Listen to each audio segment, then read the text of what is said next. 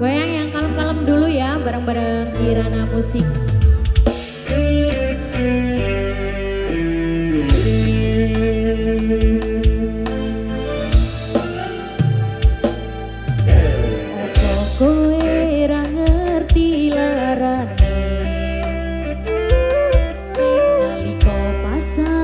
kelangan